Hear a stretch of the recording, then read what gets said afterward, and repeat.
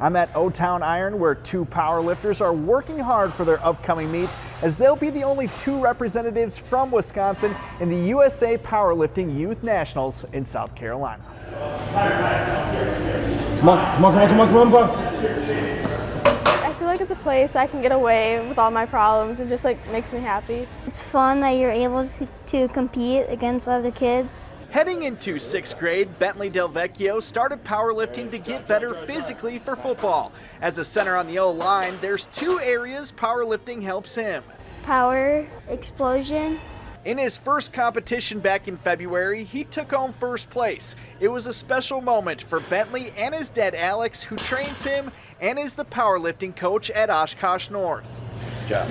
I'm not gonna lie, I teared up. It was a big moment for me. Like being able to know that we did it together, being able to work as a family and just help him accomplish something that like he can remember for the rest of his life. Aubrey Hickey, who will soon be a freshman, is also coached by Del Vecchio and began powerlifting to get stronger on the mat. She's a pretty accomplished wrestler. It feels like I'm not scared to go out of my comfort zone no more. And like with wrestling, I'm not scared to go wrestle. Like I feel like I can do it. Hickey, who just started powerlifting in the last year, also won her first meet back in February.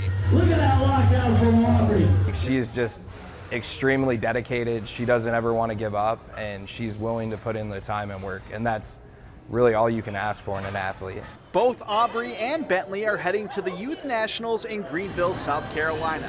However, for Aubrey and her coach, they're not worried about the power lifters winning or losing. It's just beating my own self. Placing just a number. They don't even have to win, but just knowing that they push themselves to another level and seeing that joy in their face when they come off is amazing. Given that she just picked up the sport, I asked Aubrey if she had any advice for anyone wanting to start powerlifting. It helps you get out of your comfort zone. It makes you like a stronger and better person. It'll make you more confident. You'll make new friends along the way. It'll just make you a better person in general. So good luck to you two on July 12th in South Carolina. From Oshkosh, John Miller, NBC 26.